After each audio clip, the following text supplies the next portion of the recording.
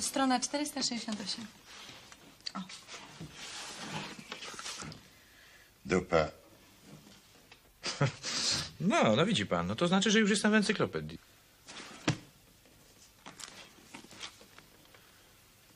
Dupa, wulgarnie pośladki, tyłek.